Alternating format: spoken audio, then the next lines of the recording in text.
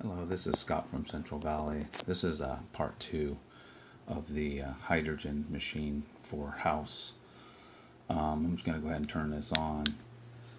Uh, again, this controller is actually connected up to an app too, but you can see it says house unit, uh, 3,500 square feet. It's calibrated that, and then we have the optional sensor hooked up in the far part of the house. So as you can see, there's parts per million, and then there's parts per million remote. So um, basically, that's the sensor that's remoted far away from, you know, well, at the other end of the house. And then you can see its operating hours has been 82.03, and then we're pulling about 10 amps. So what happens is it just regulates the amount of hydrogen to put that parts per million air. Um, so again, there's no other hydrogen company in the world knowing note that I know doing this particular technology.